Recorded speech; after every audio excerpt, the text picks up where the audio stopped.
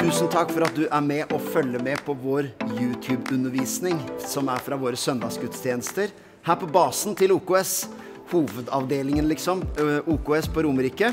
Vi er jo OKS-avdelinger andre steder i landet også, men alt det du ser av undervisning og forkynnelse, det er herfra her på Kjeller. Håper det virkelig er noe du får noe ut av, enten det er første gang du hører på kristen undervisning, eller du er vant med å mate deg med oppbyggelig stoff, så eh, er det sånn at eh, selv om det vi formidler er til vår forsamling, så har vi deg i tankene og ønsker virkelig at du skal bli berika og oppbygga. Og jeg håper du eh, sitter godt til rette, enten er i bilen eller i stua, og gjør deg klar for å høre dagens budskap og dagens ord fra Gud. Vær rikelig velsigna og nyt. Jeg skal våge meg på juleevangeliet. Og så har jeg en bønn til Gud at jeg ikke må ødelegge jula for deg. Eh, og du kommer til å skjønne etter hvert eh, hvorfor jeg sa det jeg sa nå. Men eh, folk har Bare på vei hit vet du, Vi har på radioen det er julesanger. Og jula eh, betyr litt forskjellig for forskjellige folk, har jeg lagt merke til. Ja, hva betyr julen for deg? Jo, for meg betyr den det og det. Men for hva da? Jo, det er, det er maten som er det viktigste. Nei, det er julefreden, liksom. Nei, det er julestress. Nei, det er glitter. Nei, det er mus. Det er piano. Det er gaver. Og det er, det er så deilig å gi. Nei, det er deilig å få. Og det er stjerner, og det er snø. Jeg kan stå resten av dagen og si sånne ord. Pepperkaker. Det er liksom ribbefett. eh, Rakfisk hørte jeg her nå før møtet. Det er noen som skal hjem og spise rakfisk etterpå. Jul. Ikke sant? Så eh, midt i alt dette så har vi da juleevangeliet. Så eh, hvis vi, vi Jeg må ha tempo her, for Øyvind sa vet du, at jeg, nå skal du få Ja, vi har begrensa med Vi har ikke liksom 20 timer. Men få opp neste her. Eh, For her har du på en måte eh, noe av e- juleevangeliet. Du vet, hvis, hvis du googler juleevangeliet, så blir du leda til Wikipedia, og så står det definisjonen på juleevangeliet. Det er Lukasevangeliet, kapittel 2, vers 1-20. Det er juleevangeliet. Eh, og jeg, har, jeg har ikke hele det med, jeg har bare vers eh, 10-14 her. Men du vet, eh, det gikk ut fra keiser Augustus i de dager et bud om at hele verden skulle innskrives i manntall. ikke sant? Og Josef og Maria de, de, drar ned til Betlehem, Davids by, for de er etterkommere av David. Så de drar da til den byen som de hører til, på en måte. Og eh, det er ikke rom for dem på hotell. De finner da en stall, ikke sant? og det er tiden for å føde kommer. Og ute på Betlehemsmarken så er det noen hyrder, og så viser det seg en engel som da forkynner at i dag er det født en frelser i Davids by. Eh, la oss lese her. Lukas 2, 10-14. Da sa engelen til dem, vær ikke redde, for se, jeg forkynner dere en stor glede, som skal bli hele folket til del. For i dag er det født dere en frelser i Davids by. Han er Kristus Herren. Og dette skal dere ha som tegn. Dere skal finne et barn som er svøpt i lintøy, og som ligger i en krybbe. Og straks var det en skare av den himmelske hær sammen med englene, og de priste Gud og sa:" Ære være Gud i det høyeste, og fred på jorden, Guds velbehag blant menneskene. Og disse eh, hyrdene da, de, de liksom går inn og, og finner da barnet, sånn som engelen sa. Og de går ut og forkynner dette som har blitt sagt dem overalt. Og så går de tilbake til sauene sine da etterpå, liksom, glade og fryder seg. Det var i essens juleevangeliet. Ok, Jeg har ikke ødelagt jula for noen enda. La meg bare ta, ta neste, neste her. Jeg, jeg, du, du som har hørt meg før, veit at jeg jobber som tegner. Og bare i år vet du, så har jeg lagd to tegninger som preger ditt liv. Eh, Det er Tine julenissen og Litago. Og den der det er fra Freias julemelksjokolade i 1991. Da var det jo mange av dere som ikke levde, men den tegna jeg for over 30 år siden. Vet du. Og den der det er for en eller annen sånn webpromotering. Så der har du en julenisse på en kjelke, han sitter med datamaskin. ikke sant? Så det er et julekort da for det firmaet. Så hør her nå. Jeg personlig er jo da med å spre på en måte litt den der mangfoldigheten når det gjelder folks assosiasjon til jul. Ikke sant? At det, det er amerikansk julenisse, det er norsk julenisse, det er fjøsnissen det er, liksom, det, det er så mye som er jul. Og det er her vi da, når vi skal liksom eh, snakke om juleevangeliet. for ikke, Dette er bare introen, det skjønner du. Men jeg skal snakke om kjernen i juleevangeliet. Og da er det noen ganger du må liksom, eh, liksom fjerne vatt og bomull og gavpapir for å finne fram til hva juleevangeliet er. Hvis du skjønner. For, for ut fra, ut fra liksom hele, hele den lapskausen av jul så, så danner folk sånn Ja, hvis du ser det bildet på høyre, høyre side der. Det er lys i alle vinduer. Det er fred. Det er, det er julefreden har senka seg. Og, og, og, og, liksom, og det er stjerner, og det er vinternatt, og du har noen spor i snøen. En katt eller rev. da. Rev har med jul å gjøre. vet Du Du kan se en rev, og så får du julestemning. Ikke sant? Alt er jul. Og det er her du skjønner at alt hittil har leda opp til men. Og det er nå. Du vet juleevangeliet som vi da leste Lukas 2.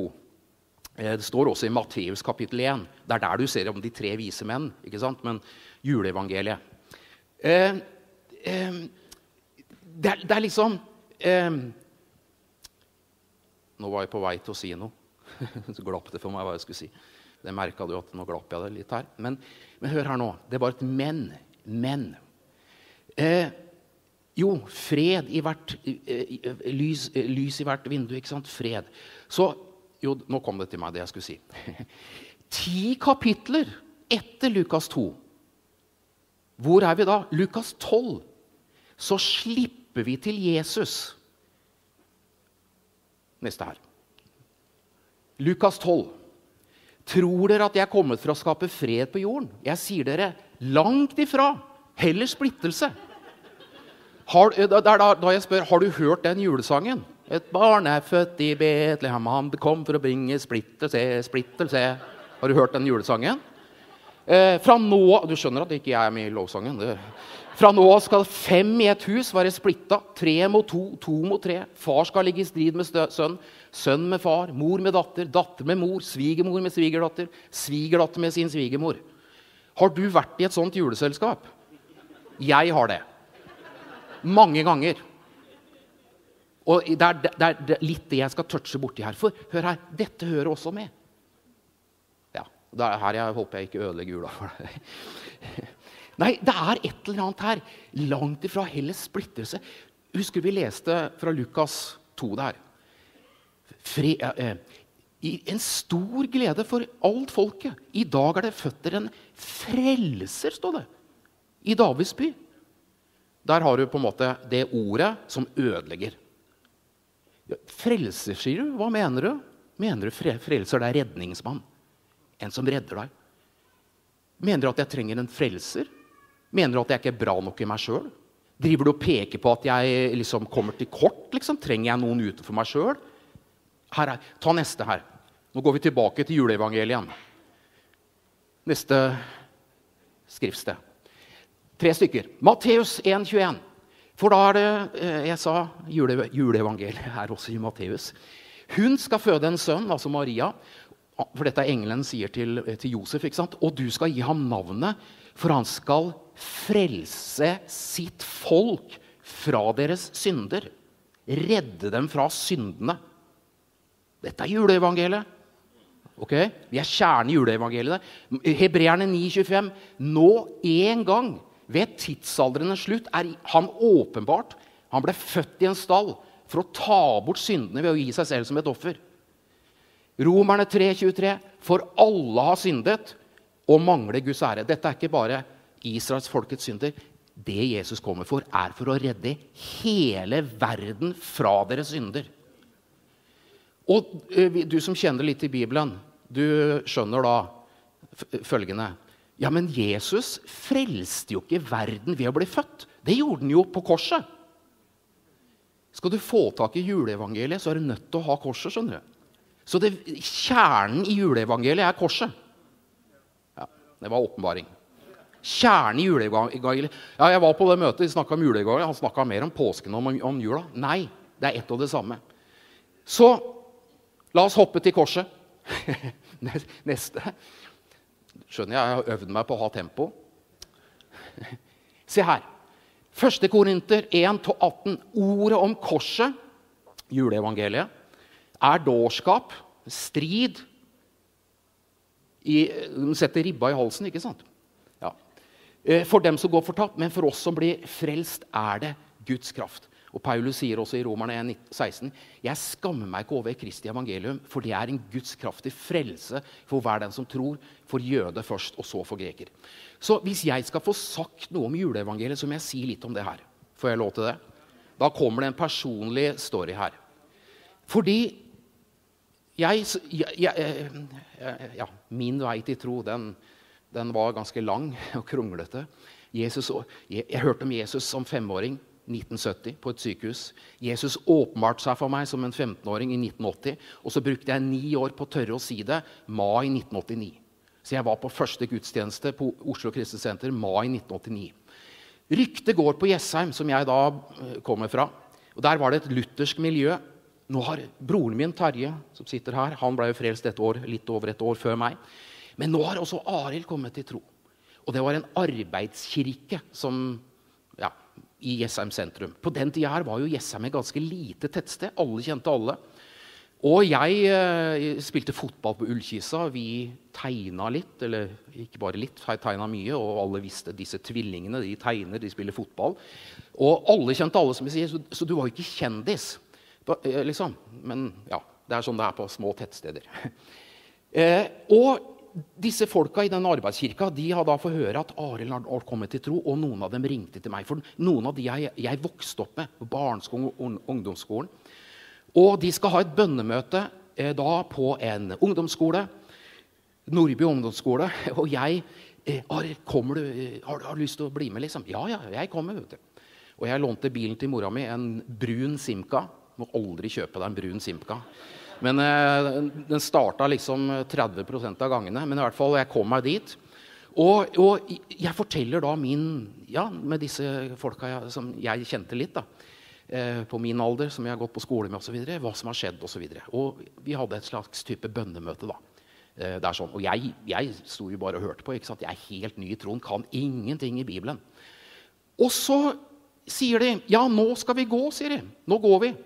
Går, sier jeg. Altså, skal dere gå? Ja, nå, nå skal vi, jo, vi, skal jo gå med et sånt kors gjennom Jessheim sentrum. Vet du, du, du veit hva Sånn tre meter langt kors med hjul. Vi skal gå ringveien og stri... Nei, hør her nå. Mai på Jessheim 1989. Hva er det som er der? Hundrevis av folk. Russen er der. Russebiler. Det kommer eh, eh, rånebiler fra de omkringliggende bygdene, Gjerdrum, Årnes, Kløfta, de kommer til Jessheim. Sånne senka hvor stereoanlegget koster mer enn bilen. Du har militærleire rundt omkring. Eh, Trandum, Sessvollmoen, Haugeseter. Mange av mine kamerater, foreldrene, jobba i militæret for det var militært område. Så det kryr av folk på Jessheim sentrum. Og gutta, kameratene mine, som jeg har spilt fotball med? Jeg er nå 24 år snart. Og de sitter jo og drikker øl ikke sant, på de uterestaurantene. Det har jo jeg sjøl gjort siden jeg var 18. Ikke sant? Og nå har jeg gått over til fienden. Du blir vel med, Arild, og går i, med det korset og synger salmer gjennom Jessheim sentrum? For hør her nå. Eh, eh, vi, vi, ser her, Ordet om korset er en dårskap. Det, det, det trenger ikke du å fortelle meg. Det skjønte jeg uten at jeg visste noe som sto i Bibelen. Og jeg visste også at det er et anstøt.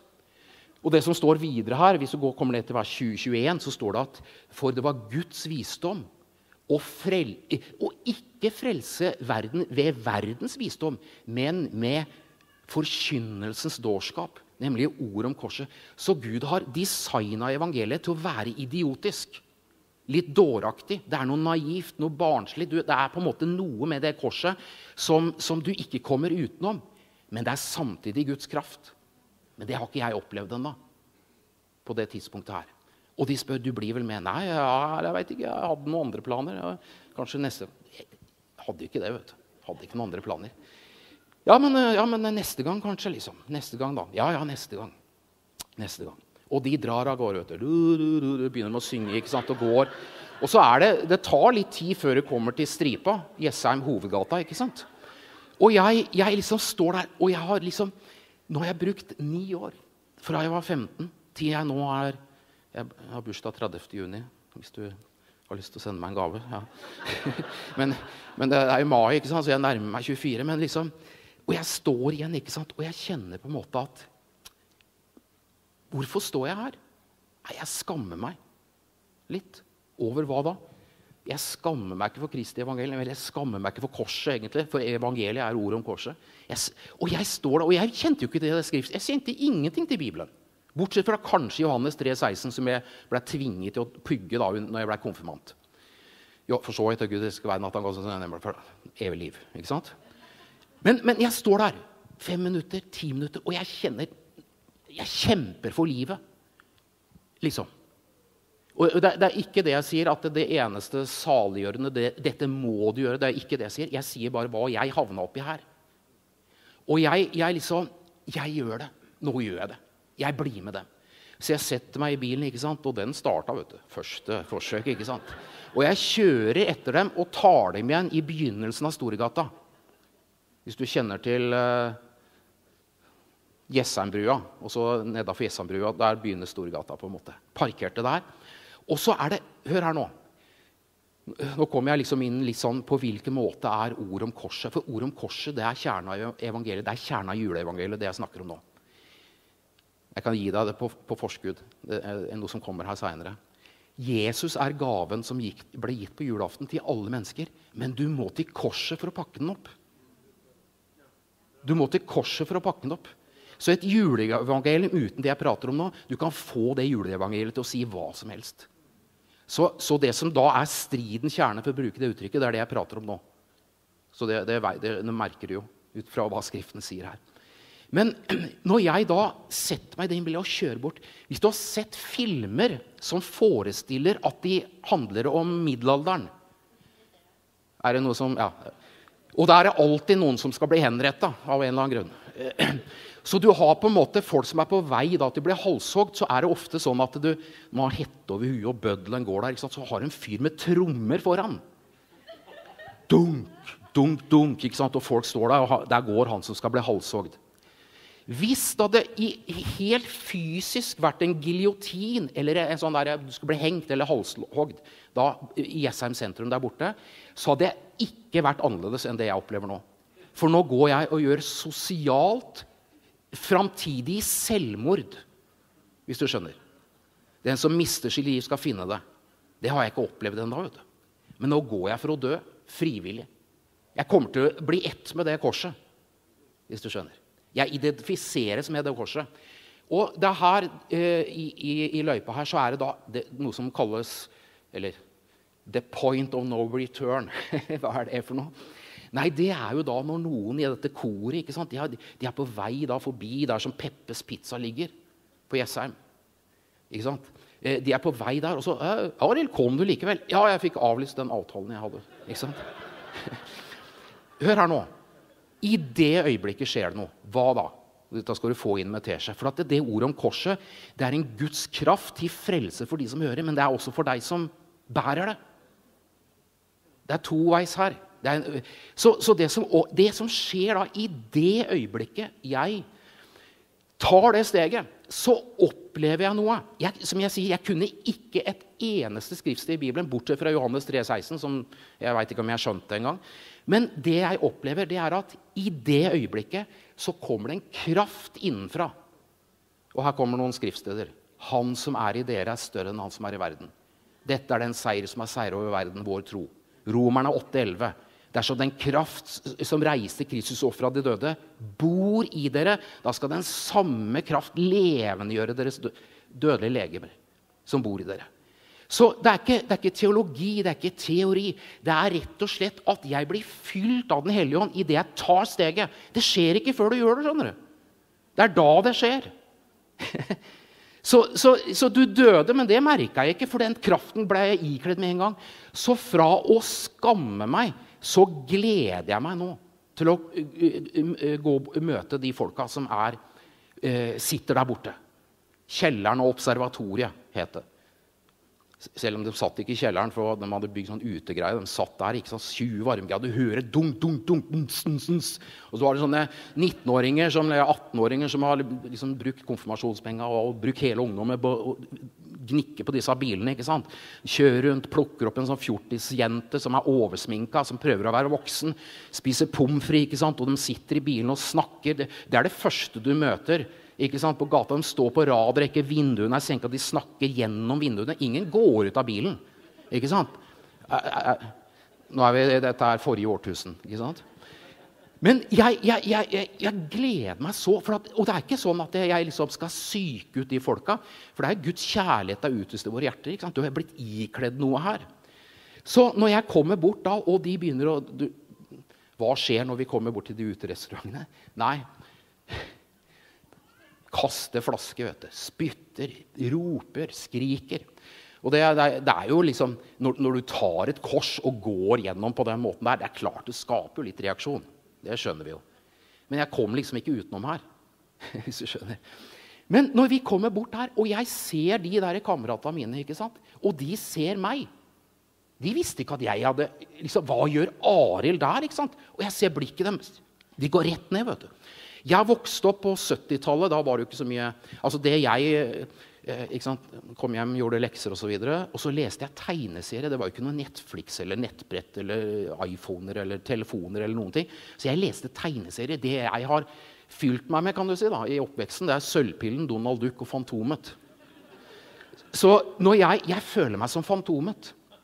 Jeg, og jeg vet at når Fantomet skulle på bar, så bestilte han melk. Så han har med seg bikkja si Ulv, ikke sant? Er det noen som har lest Fantomet her? Ja, Ja, ja. Da, da, nå får du sånne vibber, ikke sant? Jeg, jeg, jeg, går, jeg går ut av koret og inn på den restauranten og bestiller et glass melk. Jeg, er helt over situasjonen. De hadde ikke melk, da, så jeg fikk jeg, jeg solo. da. Så liksom, Det var så deilig å være totalt fri. For du er død fra deg sjøl. Det er noe annet som er tatt over. Dette er juleevangeliet. Det er juleevangeliet. Du pakker opp den gaven. Ikke sant? Så, så, eh, og så går jeg ut igjen ikke sant, etter å drikke den. Da, liksom, eh, og så går jeg til koret, og de står da på Jessheim. Eh, på den tida var det jo mindre Det var ikke noe senter, eller noe sånt, så det var et sånt område. Legesenteret lå rett nedafor. Men der står de og synger. ikke sant? Og du har disse rånebilene. 'Jesus er veien, bruk piggdekk!' Og de kasta liksom kasta ølflaska sånn knuste, og så børna de. Så det kom en sånn svart røyk som kom mot koret her. da. Og jeg står der, ikke sant. Jeg kan jo ikke noen sanger. Og de kjører fram og tilbake. Strid. Ikke sant?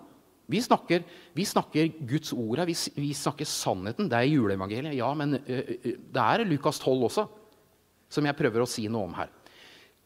Og så kommer, så kommer de, og jeg står der, ikke sant? Vi står der kanskje fem minutter, ti minutter, og de synger sang, salmer, salmer, salmer. ikke sant? Og, ja. og så kommer han, han som ropte 'Jesus av vei, bruk piggdekk'. Han satt jo i baksetet. Han drakk jo, ikke sant? Så hopper han ut. Og så kommer på en måte den skyllebøtta som alltid kommer. Ja, Hvis Gud fins, hvorfor er det så mye vondt i verden? Ja, Hvordan kan Gud? Hvordan kan en god Gud? Ja, Han passer butikken sin dårlig. Det må jeg si. Ja, Og, og, og middelalderen, ja, korstogene. Ja, de, de, går rundt og dømmer folk liksom hele tida.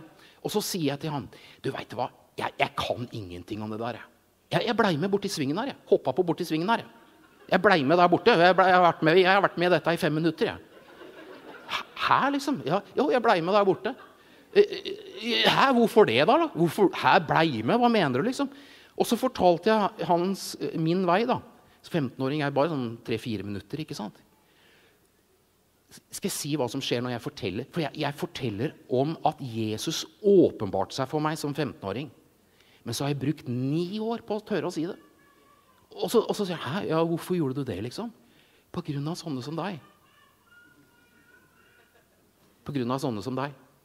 Og jeg vet jo du inni der så er du en liten femåring med PlayStation, og du styrer denne kroppen med fasade, enten det er eh, skinndress, eh, biker, eller om det er sånn uh, VIP-type på Aker Brygge. Du er like mye avhengig av det som jeg har tatt imot nå, som alle andre. Fyren begynner å grine. vet du. Fyren, Guds kraft til frelse. Det er han som ropte 'Jesus av veien, bruk piggdekk'. Og han han sier ja, jeg jobba på en båt, og der var en kristen som var på den båten. Og vi erta og mobba han. Strid. Ikke sant? Men jeg har aldri møtt et så fint menneske. Og når, hver gang eh, noen hadde problemer, så var det han vi gikk til. Ikke sant? Alle sammen. Så jeg veit åssen det er. Jeg har vært der sjøl. Ikke sant? Jeg veit åssen det er. Så hør her nå. Etter den timen som hele den greia her eh, tok for meg, så, så, er det på en måte sånn at jeg kan holde ti bibeltimer ut fra det her uten at jeg kan noe i Bibelen. For alt jeg erfarer, for det jeg opplevde da, det var at når jeg sto der og vit, ga mitt vitnesbyrd Det jeg toucha borti da, det var egentlig Jesu Kristi oppstandelse. For jeg sa Jesus åpenbarte seg for meg. Han lever. Og Guds ånd virker, stadfester det, og han kommer på en måte blir i hvert fall berørt. Ikke sant? Så det er her jeg da, fra den dagen av Romerne 1,16.: Jeg skammer meg ikke over Kristi evangelium, for det er en Guds kraft til frelse for hver den som tror, for jøde først, og så for greker. Ja, men det er jo en fare, det er jo en risiko at noen kanskje tenker at du er litt naiv. At du er litt påståelig, at du kommer her med svart-hvitt. At du kommer frelse eller ikke frelse. Ja, det er det. Men det er en enda større risiko at de kommer til å komme til tro og bli tiltrukket av det. For dette er noe som alle mennesker er helt avhengig av. Hvis du skjønner. Så nå går det da, sånn som Geir Jeg kom jo, jeg vet ikke hvilket år var det du ble, jeg har vært med her siden 1989. 1999, Vi kom inn her omtrent samtidig, og vi er med, hører forkynnelse osv. Og, så og det er ord om korset.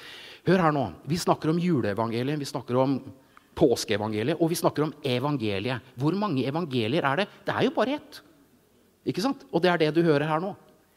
Så hver gang noen forkynner evangeliet, så forkynner de egentlig juleevangeliet. kjernen av juleevangeliet. Så i 1998, da har det jo gått ni år, så vet jeg at ordet om korset det er en Guds kraft til frelse. Det er dårskap, men det er også en Guds kraft. Så jeg får da ideen om å male Jesus på korset. Da sto jeg her. Jeg sto her og malte Jeg vet ikke om noen av dere var her da. Jeg malte Jesus på korset. Åge preka.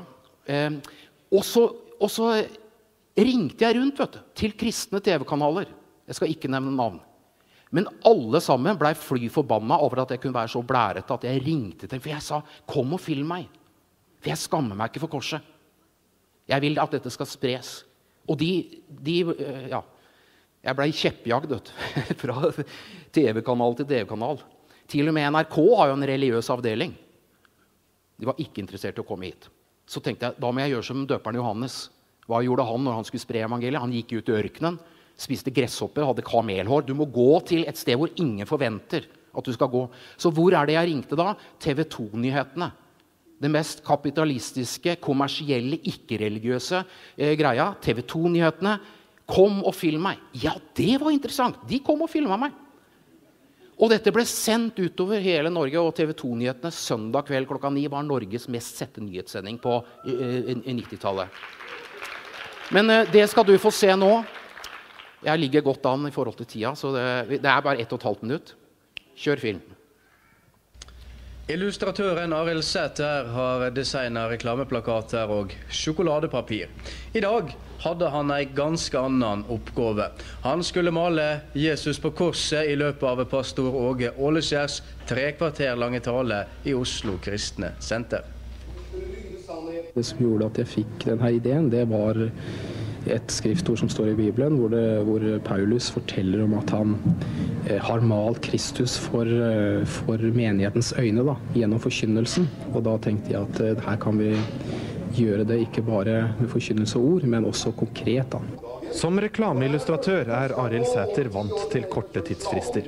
Men å male to ganger to og en halv meter med Jesus på korset i løpet av 45 minutter er nok litt i overkant. Jeg har malt ferdig små detaljer som ikke utgjør noen stor del av bildet. Det har jeg malt ferdig, eh, tatt over plastikk og malt hvitt oppå. Så at når jeg da etter hvert som jeg maler, så vil jeg rive av de små bitene, og så vil, eh, vil de detaljene tre frem. Vet du at at Jesus han ble torturert psykisk. Når de satte en tornekrone på hans hode, så er det symbolsk at den sitter rundt sinnet, rundt tankene, rundt, rundt uh, din sjelelige tilstand. Når han henger på korset, så er det klart det ser ut for hele verden som om det var et nederlag. Og, uh, men det nederlaget, uh, det var egentlig en veldig seier. Men det må man nesten høre prekena for å skjønne. Ja. Men du ser, du ser her 'This blood is for you'. Dette blodet er for deg. Dette offeret er for deg. Fordi at når Jesus da skal hør her nå, han skal frelse sitt folk fra sine synder. Juleevangeliet. ikke sant? En frelser. Så var det uh, nødt til å bli betalt en pris. For at de syndene skal bli utsletta, så må noen betale prisen. Og jeg, Her må jeg ikke gå inn, dykke inn i det, for da blir vi der i fem timer med hebreerbrevet og blodspakter og diverse ting og tang. Men han ga sitt liv for deg for at du skulle få hans liv. Det er på en måte en byttehandel som skjer på korset. Han ble deg for at du skulle bli han, for å si det sånn. Eller få del i hans liv og rettferdighet. Så det er egentlig det som er gaven fra Gud. vet du, som blir gitt på julaften. Det er liv i hans sønn Jesus Kristus. Men du må hit for å pakke den opp. Det er det som er poenget mitt her. Så eh, jeg tok jo da det maleriet hjem, og så malte jeg det ferdig. og Her ser det jo litt penere ut enn eh, når jeg sto her. ikke sant? Men dette er på en måte kjernen av hele det kristne budskapet. Hvis vi tar neste, neste nå, så ser du her Johannes 4,10. Det er kvinnen med brønnen. Hvor Jesus da kaller, Jesus kaller seg selv Guds gave. For det er det han er. ikke sant? Guds gave som kommer ned fra himmelen på julaften. Jesus svarte og sa til henne, 'Hvis du kjente Guds gave og visste hvem, er han, øh, hvem han er som sier til deg, 'Gi meg drikke', så ville du ha bedt han, og han skulle gitt deg levende vann. Levende vann, hva, mener du? Nei, det er det jeg prata om nå i stad. Når du blir ett med dette korset, så kommer det noe. Fra deres indre skal det strømme strømmer av levende vann. Dette sa han om den ånd de skulle få som trodde på han. Kristenlivet er ikke bare en kristen livsanskuelse, teori. Det er dette er det evige liv, at de kjenner deg og ham du utsendte. Kjenne hva da? Ha kunnskap? Ja, det òg. Men å kjenne Guds nærhet, kjenne Guds nærvær. Vi er tempel for Den hellige ånd. På den dag skal dere merke at jeg er min far, dere meg og jeg dere. Oppstandelseskraften. Jeg sender talsmann til dere. Dere kjenner ham. Verden kjenner ham ikke. Mine får høre min røst. Du ber om visdom, du får den visdommen. Du lever med Gud i hverdagen. Så det er løfte for dette livet, men også for det livet som kommer. Løftet for dette livet, hva er det? Nei, vi har fått del Nå siterer jeg skriftsteder her. Ikke sant, hele tiden. Vi har fått del i guddommelig natur. Jeg, jeg veit jo det at når du går herfra, så kommer du til å rulle terningkast. ikke sant? Terningkast på møtet. Kona var ikke med, hun er hjemme, liksom. Eller mannen. Jeg skal lære deg opp i hvordan du skal bedømme et kristent møte. Det første du bør sjekke, er er det noen skriftsteder der. Blir Guds ord forkynt? Og jeg, jeg har telt, jeg, vet, jeg har ni stykker i presentasjon. Og jeg har i hvert fall sitert ti stykker utenom. Så hvis møtet er på 35 minutter, så er det omtrent ett skriftsted per minutt. Så bare der bør det lande på fem eller seks. Men du skjønner humoren i det. Jeg bryr meg ikke. Og så kan man si jeg likte ikke formen hans. Nei, det er du helt fri til. Men, eh, men hvis det er skriftene så, så, må du bedømme. Alltid må du bedømme. Ja, ja det var så bra. Det var så bra. Ba, nei, det var bare kjærlighet, vet du. Det var bare kjærlighet, vet du. Ja, er det evangeliet? Strid er jeg kommet for å kaste på jorden. Nei, det var, bare, det var så bra. Det var bare kjærlighet, vet du. Halleluja, vet du. Ja Nei, jeg, jeg må rygge ut av det. For, det, for det, hør her.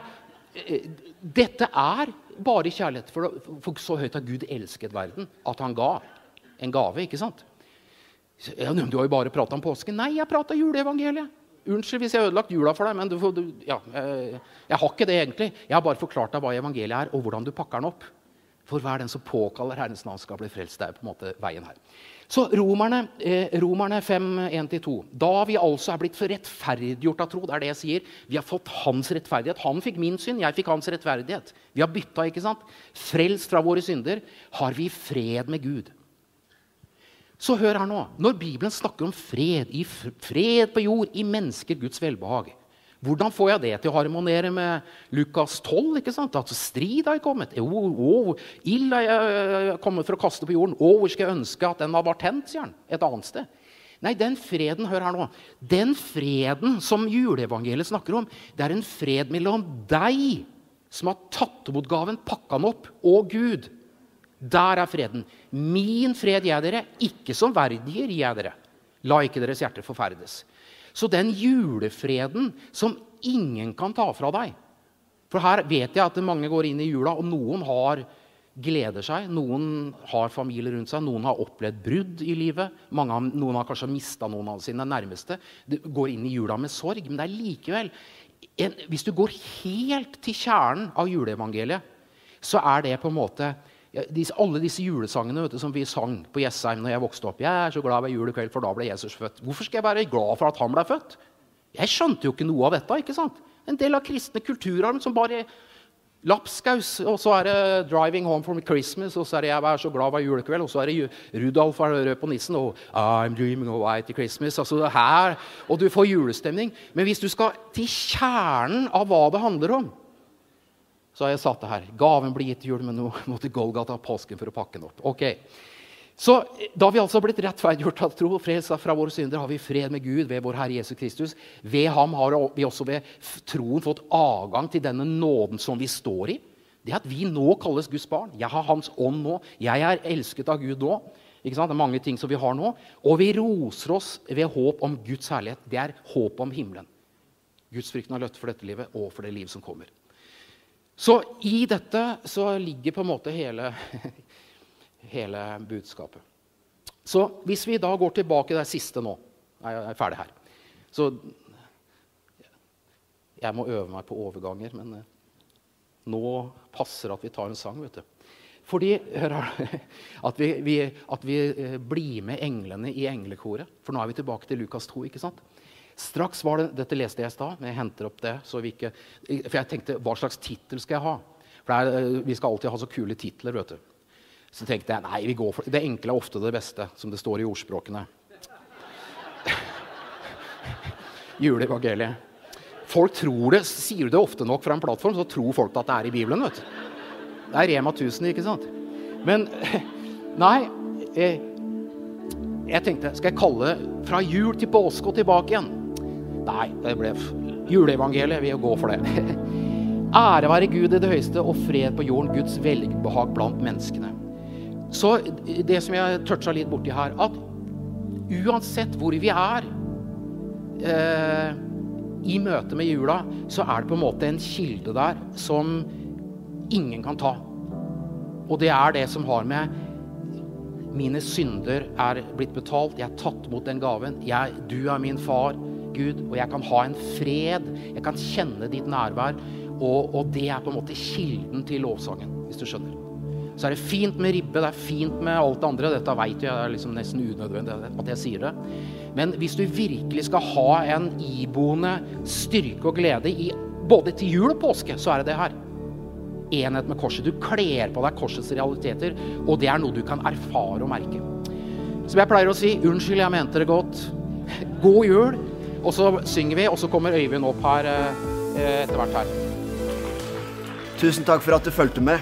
Håper det har vært i oppbyggelse og hjelp for deg. Hvis du ønsker kontakt, hvis du har spørsmål om tro, spørsmål om Gud, spørsmål om kanskje å sette av et år på bibelskole f.eks., så kan du bare sende en e-post til post at oks.no, eller gå inn på våre websider oks.no. Kan jeg også bare ydmykt få lov å eh, oppmuntre deg at hvis du får utbytte av våre sendinger og hører på det jevnlig, så er du hjertelig velkommen også til å være med å gi en gave. Da kan du sende en gave på VIPS 12448 og du må gjerne skrive i meldingsfeltet YouTube hvis du har lyst, så vet vi at det er en av dere. Eh, det er, eh, alt det vi legger ut, er selvsagt gratis, men eh, vi investerer en hel del i produksjonsavdelingen og i å gjøre ting tilgjengelig.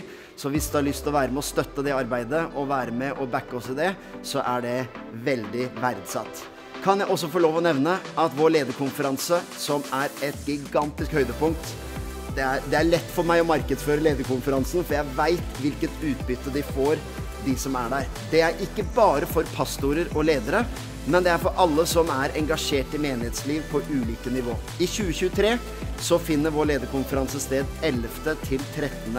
mai. 11. til 13. mai 2023. 48 timer fra torsdag kveld til lørdag klokka syv. Eh, håper at vi kanskje kan se deg der også. Og er det noe annet vi kan bistå med eller velsigne deg med, så ikke nøl med å ta kontakt. Ha en velsigna dag og en velsigna uke videre, og takk for at du fulgte med på vår YouTube-kanal. Vær velsigna.